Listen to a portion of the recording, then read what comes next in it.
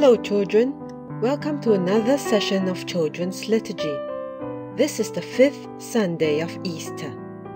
The theme for this week is Love One Another.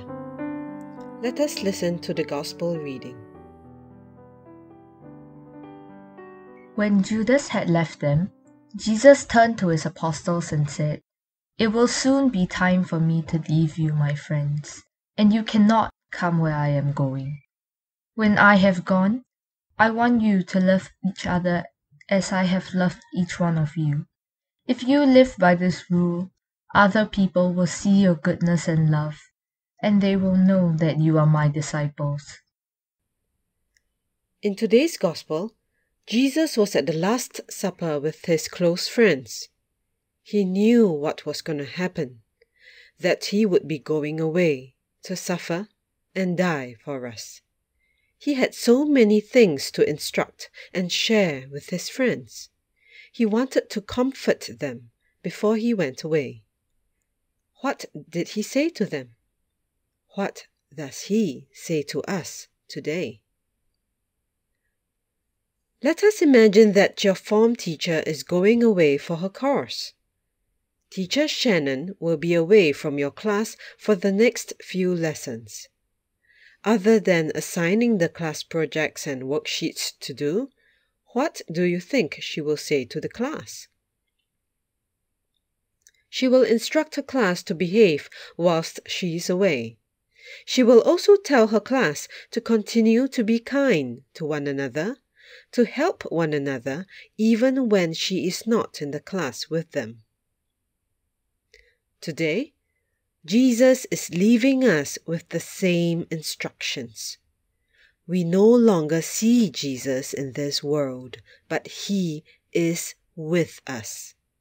He wants us to remember to continue to love others, to continue to help others, to continue to be kind to everyone, even when He is no longer physically with us. What will He ask you to do today? In the movie The Secret Life of Pets, the pets must learn to work and live with one another when their owner is not with them. How did they do it? They had to put aside their own fears, insecurities, and anxiety. They have to trust in their owner and know that their owner would want them to behave when she is not around. They learn that when they fight and do not love each other, they lose. The pets learn that they need to love and forgive one another. As they all belong to their owner, Katie loves each and every one of them. What about us? How do we show others that we are followers of Christ? We do this by following the commandments, which are important. We show others we are followers of Jesus by attending weekly Mass and saying our prayers regularly. We do that to bring ourselves closer to God. In today's Gospel, Jesus gave a farewell message to his disciples and to us. He wants us to continue to love others even when we no longer see him. I should not just love people whom I like or people who are friendly to me. Today, I am asked to love others as Jesus loves. Even in teacher Shannon's absence, she wants her class to continue to work hard for their studies, to pay attention in class, and to help one another out even when she is not with her class. Even in owner Katie's absence, she wants her pets to love and accept each other, even those who are different from them. How do we love others as commanded by Jesus?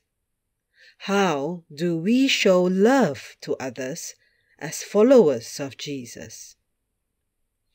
Let us show that we are followers of Jesus by using this acronym L O V E. Love. L. Listen. Listen carefully to what someone is saying to you today. The person could be your grandparents, your parents, your siblings, your teachers.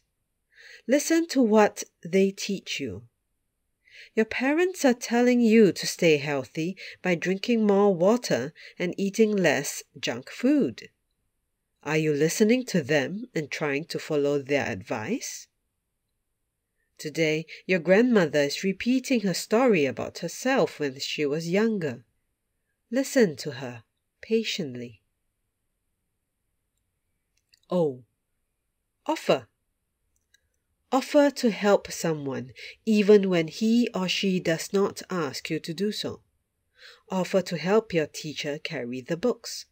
Offer to help your classmate who is weaker than you in an academic subject. You see a pile of clothes that has just been washed. Offer to fold them without waiting for your parents to ask you to do so. V. Value the blessings you have received. Say thank you to someone who has helped you, who has been bringing you to school every day. It can be a helper auntie, your grandparents, or your parents.